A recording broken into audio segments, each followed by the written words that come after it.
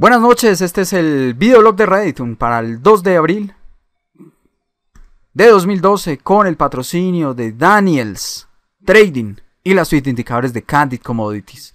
Recuerden nuestro libro Ingresarios para entender esta, este análisis, nuestra metodología, lo pueden encontrar en ingresarios.com.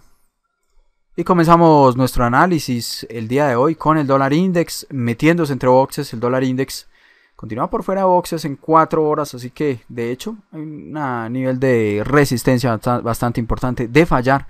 Pues esto tiene espacio para corregir en el gráfico diario. Podría buscar la parte inferior o bueno, mejor el pivot anterior en, este marco de tiempo. En el gráfico de 60 minutos pues se ve alcista, una vez resuelva el pivot estaría entrando a zona de fluidez y valle. Potencial para buscar esta zona, 79.41. El gráfico de 4 horas sigue la consolidación por fuera de boxes, también consolidando por fuera de boxes en 8 horas, potencial bajista en estos dos marcos de tiempo, así que atentos con un posible fallo en diario. Si consolida la ruptura, ojo, de la zona alta volumen a precio y la parte inferior del box, esto tendría potencial para buscar este nivel 79.68, sería una formación en B o una ruptura que falla y podría buscar estos niveles. Vamos a estar atentos.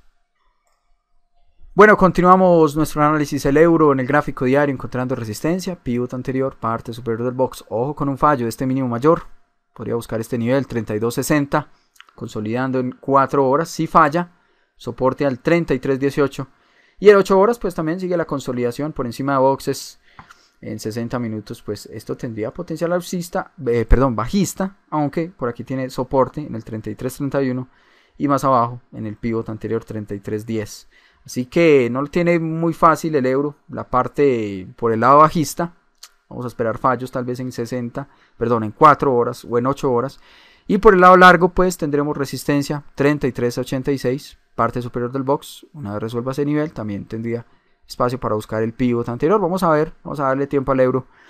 A ver qué, cuál es el sesgo o para qué dirección pues nos empieza a mostrar alguna oportunidad. Así que seguimos esperando oportunidades un poco más claras en el euro. Y bueno, encontrando resistencia a la libra, gráfico eh, diario, pues encontrando, vamos a ver qué nivel está visitando. A ver, un poco más pequeño en el gráfico diario. Por el momento en el gráfico de 4 horas, una vela tipo envolvente. Volviendo también en, 4, en 8 horas. Miren el histórico aquí. Vamos a ver dónde está encontrando resistencia la libra. Toda esta congestión, toda esta zona aquí, nivel de congestión. Así que es posible que veamos retrocesos.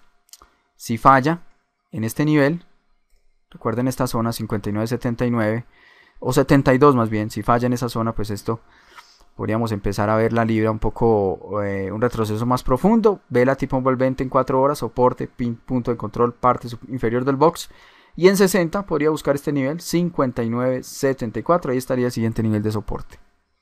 Bueno, comenzamos el análisis, eh, bueno, o continuamos nuestro análisis con el australiano. Eh, apertura con gap el día de hoy, nuevo set de boxes, punto de control. Nivel para demandar, vamos a estar atentos. Si falla, pues esto podría buscar este nivel 10331, posible mínimo mayor en 4 horas y en 8 horas también se está desarrollando un primer mínimo mayor. Retroceso ordenado a la parte superior del box, nivel para demandar. Vamos a estar atentos entonces. Podríamos favorecer un largo en el australiano, sin embargo vamos a estar atentos con un fallo de este nivel, del punto de control 1.0407. Eh, si falla, pues esto podría buscar este nivel parte inferior del box. Atentos entonces con posibles mínimos mayores en 4 y en 8 horas para el australiano.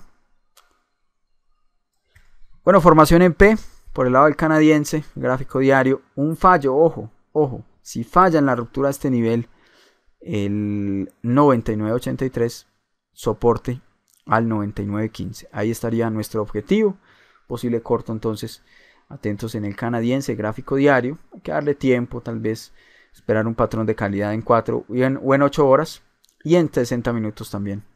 Por el momento pues el sesgo pues sería alcista y podría buscar estos niveles pero mantenemos la hipótesis con el gráfico diario, imposible fallo, podría ser corto para buscar este punto de control y un largo por encima de esta zona, hay que darle tiempo que resuelva el pivot pero tal vez una nueva visita a estos niveles al 99.53 pues estaría activando un largo para buscar este siguiente pivot 10027.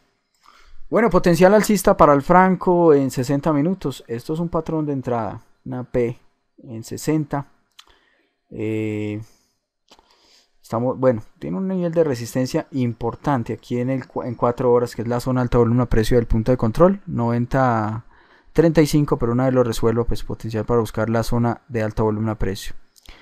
En el gráfico de 8 horas, pues estamos por fuera de boxes, también intentando meternos entre boxes, intentando meternos entre boxes también en diario. De hacerlo, ojo que el franco pues podría buscar estos niveles 91.51 esta semana.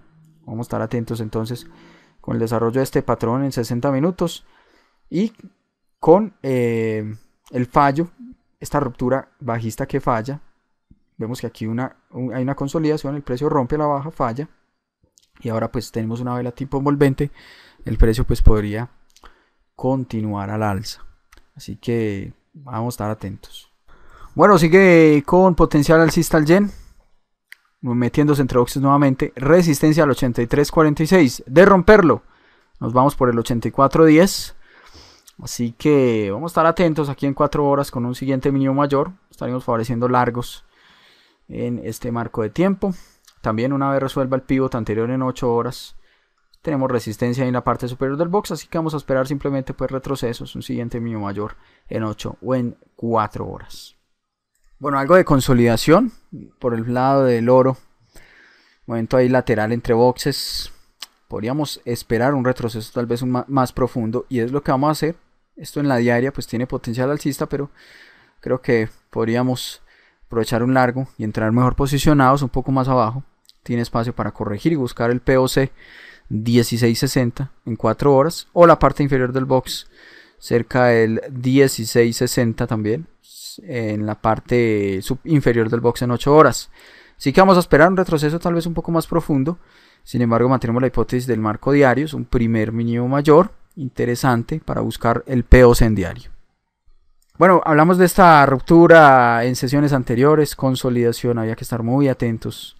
Una vez fallara, pues potencial bajista y ahora continúa con espacio para corregir. Miren el gráfico diario, va a buscar este nivel nuevamente cerca de los 101.94, formación en B por fuera de boxes en 4 horas, por fuera de boxes en 8, por debajo del punto de control en 60 minutos y en diario, a subasta en control de los vendedores para el petróleo con espacio aún para corregir en, este marco de tiempo.